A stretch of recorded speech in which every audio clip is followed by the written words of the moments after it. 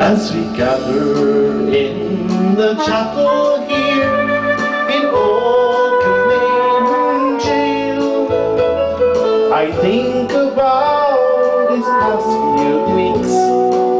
Oh, they say we failed for martial days. They have told us for to yearn for liberty.